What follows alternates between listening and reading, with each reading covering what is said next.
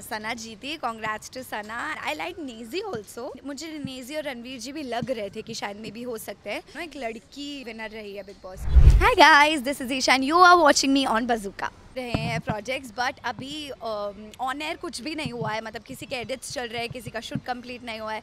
तो बस लगी हुई हूँ मैं उसी में. अभी है टाइम उसका तो बस एक छोटा सा पार्ट शूट हुआ है अभी.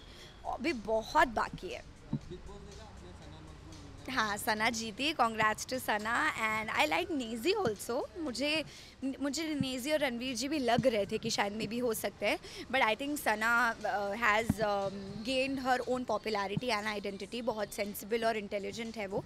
And it feels good to see कि इतने टाइम बाद यू नो एक लड़की विनर uh, रही है बिग बॉस की. So all the best to her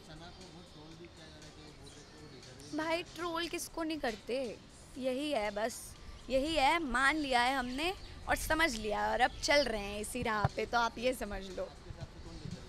मेरे हिसाब से Sana is the deserving winner why not मतलब उन्होंने अपना पूरा क्लियर रही है, जितना मैंने देखा है रील्स के थ्रू इतना हार्ड कोर तरीके से मैंने फॉलो नहीं किया बट जितना देखा है, वो काफ़ी अपना पॉइंट को लेके, अपने यू नो स्टेटमेंट्स को लेके हमेशा से बहुत क्लियर रही थी। So I like the fact about her she is very straightforward also thank you thank you thank you